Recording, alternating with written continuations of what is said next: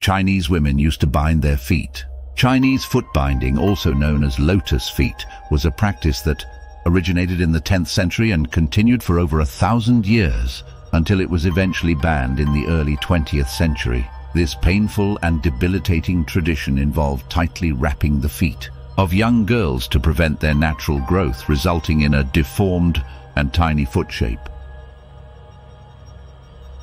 Foot binding was seen as a symbol of beauty and femininity in Chinese culture, and it was believed that small feet were an attractive feature in women.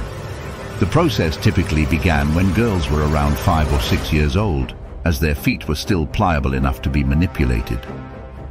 The feet would be soaked in warm water infused with herbs, and then the toes were bent backward and tightly bound with cloth strips. The bindings were tightened daily, gradually breaking the bones and forcing the arch of the foot to increase, resulting in a characteristic lotus shape. The process was excruciatingly painful, often leading to infections, ulcers and even gangrene. Women who underwent foot binding would experience lifelong physical disabilities, making it difficult for them to walk or engage in physical activities. Despite the immense pain and suffering, foot binding was widely practiced as it was considered a necessary requirement for marriage and social status. Women with bound feet were perceived as more delicate, submissive, and desirable to potential suitors.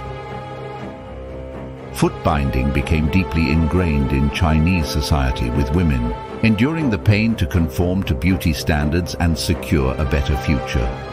However, there were also women who resisted foot binding and questioned its purpose. Some scholars and reformers began to advocate against the practice, arguing for women's rights and the importance of education and equality. Their efforts eventually led to the ban on foot binding in 1912 as part of China's modernization movement. Today, foot binding is recognized as a painful and oppressive practice that caused immense suffering for countless Chinese women. It serves as a reminder of the restrictive gender norms and the lengths women were expected to go to meet societal expectations. The legacy of foot binding continues to be a poignant symbol of the struggles and resilience of women throughout history.